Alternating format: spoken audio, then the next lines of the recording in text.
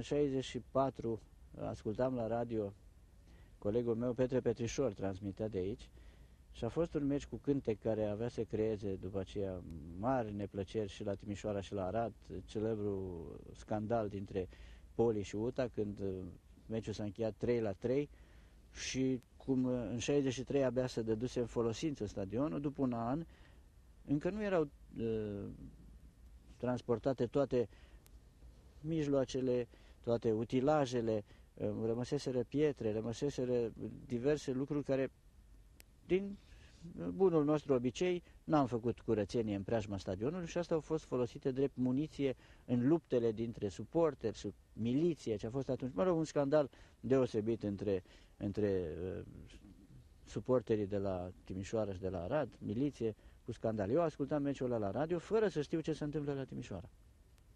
Pentru ca după aia să aflu că uh, s-a lăsat cu arestări chiar, cu suspendări, cu necazuri mari. Am colegi care, după uh, meciul ăla, au fost exmatriculați. Colegi de liceu care făceau facultate aici au fost surprinși în niște mm, situații mai puțin plăcute sau, bine, ei se disculpă mereu, cert e că au fost uh, exmatriculați și cu greu reprimiți după o perioadă la facultate.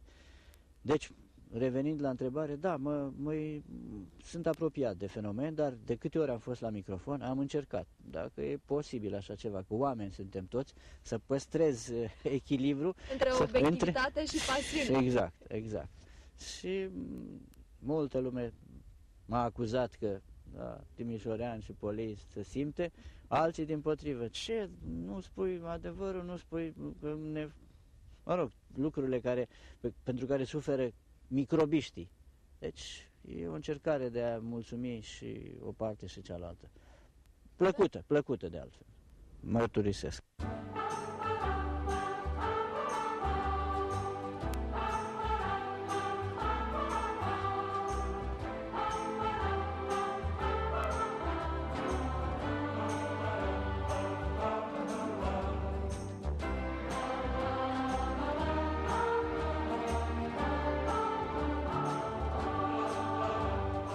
Lipsit uh, propaganda.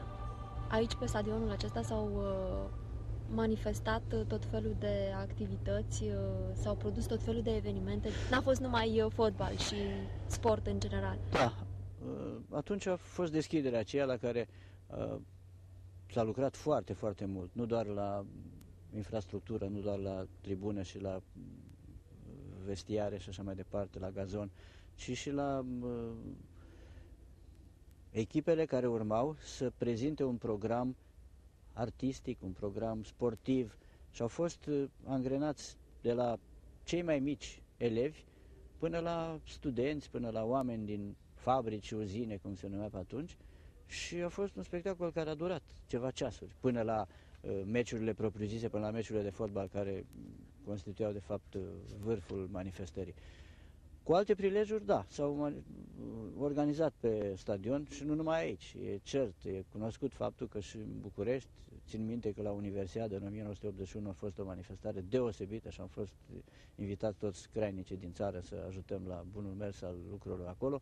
La fel și aici, dar mai puțin de 1 mai și de 23 august. Obiceiul era ca lumea să meargă la paradă, la defilare pe Bulevardul Republicii, acolo unde nu mai există, dar era o tribună vis-a-vis -vis de parcul uh, central, care se numea cu mulți ani în urmă Parcul Stalin, așa, uh, acolo era o tribună, așa, sigur că da, și prin fața ei treceau șoimii patriei, pionierii, elevii, studenții, muncitorii, intelectualii și așa mai departe. Și salutau tribuna de unde primeau uh, mulțumiri pentru mărețele realizări. Dumneavoastră când uh, comentați, uh, venea partidul să vă spună să interveniți cu anumite texte, să scoateți în evidență, eu știu, lucruri care ar ține de imaginea lor.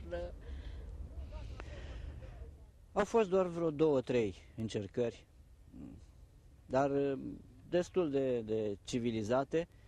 Țin minte că odată la, nu pe stadionul acesta, ci pe stadionul CFR de la Gara Mare, Fac o paranteză, aici sigur există o cabină de transmisie pe care o cunoașteți și o, o știu și eu foarte bine pentru că mă rog, într-un fel mi-a fost o a doua casă, dar înainte de a se construi stadionul, transmisiunile se făceau de pe pistă. Deci se monta un microfon acolo și uh, mai sărea mingea spre tine, mai încercai să te ferești. Acolo pe stadionul CFR, la un moment dat, jucau uh, cei de la uh, locomotiva CFR Timișoara cu farul Constanța și am pronunțat eu o expresie care a deranjat partidul. Vezi, Doamne, că uh, erau foarte dur, un meci extrem de dur.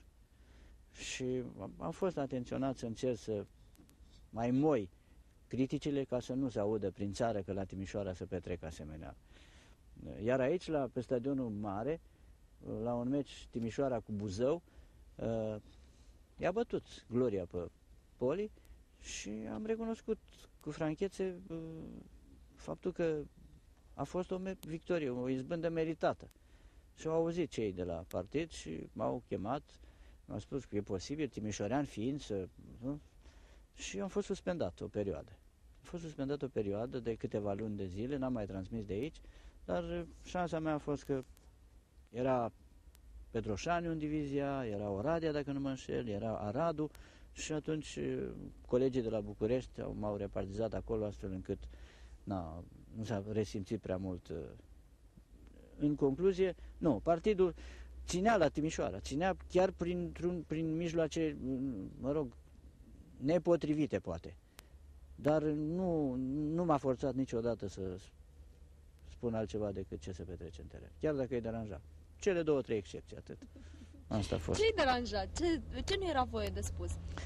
Că echipa oaspete e mai bună decât Timișoara. A, deci sau că, o, o mândrie până. Da, sigur. Sau, sau uh, dacă arbitru, mă rog, cumva greșea uh, și Timișoara era defavorizată, de ce nu-l fac cu ou și cu oțet pe arbitru și din potrivă, dacă greșea în favoarea Timișoarei, de ce să spun că uh, Timișoara a fost favorizată de arbitraj? Ceva de genul. Chestii subiective. Adică nu majore care să uh, influențeze, oricum nu influența rezultatul, care era cel stabilit de cei din teren. Dar ținea, uh, practic, de pasiunea unuia dintre liderii aceștia comuniști ca să se întâmple ceva în partea asta de sport, în zona asta de fotbal? Unii chiar iubeau fotbalul. Cei mai mulți însă uh, considerau că fotbalul, sportul, mă rog, uh, este o întrecere cu colegul lui din fruntea partidului din județul Cutare sau din județul Cutare. Și atunci ei când se întâlneau, cel puțin așa mi s-a spus, la uh, Comitetul Central, la întruniri, la, la centru, atunci se șicanau sau, mă rog, uneori chiar se certau pe, pe aceste teme. Atunci veneau montați de acolo și spuneau, cum adică ăia vă bat pe voi, voi nu sunteți mai buni ca ei? Păi vă fac aici toate, creez condiții și voi nimic? Și atunci ăștia trebuiau să zică, da, tu așa, încercăm, facem, dregem. Și dumneavoastră, spuneți, uite, noi facem aici atâtea investiții și nu se reflectă. Da, asta era. Nu, nu, nu, nu erau toți pasionați de, de fotbal. Asta putea să influențeze în mod negativ. Erau niște orgoli, erau prea, prea mândri de ei și voiau ca în toate domeniile, în agricultură, în industrie, în economie, în fotbal, ia că, pentru că vorbim de asta, să fie mai bun decât ceilalți. Pentru ca să fie apreciați, cum se cuvine, de știm noi cine. Da, da. Nu-i spunem numele. Nu mai mai spunem numele. Nu mai spunem numele. Da. Cum vă amintiți acum despre vremurile acelea? Când văd uh, filmul, când am revăzut filmul, mărturisesc că am, uh, am, avut, am avut ceva emoții.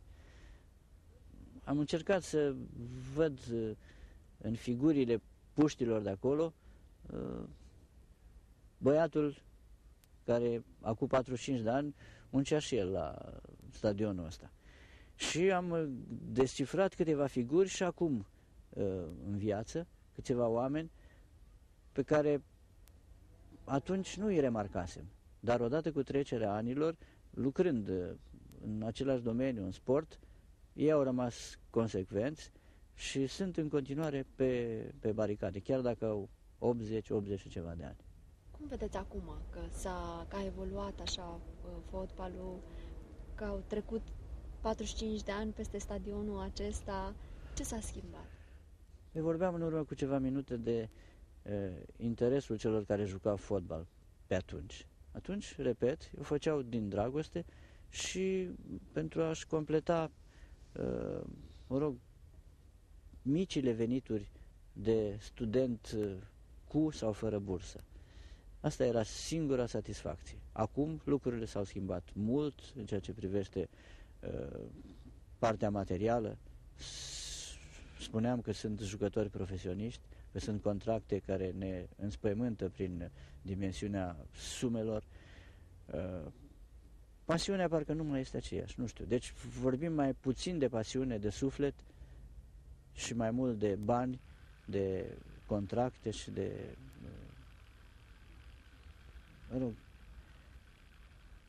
unii gândesc în continuare cu, cu sufletul și li se reproșează lucrul ăsta, spunându-li se mai bine cu mintea.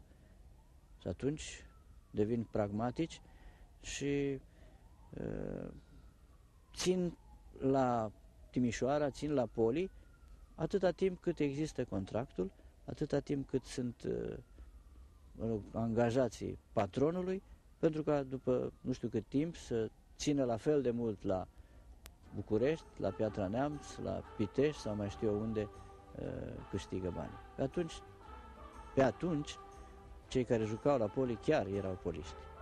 Cei de acum nu cred.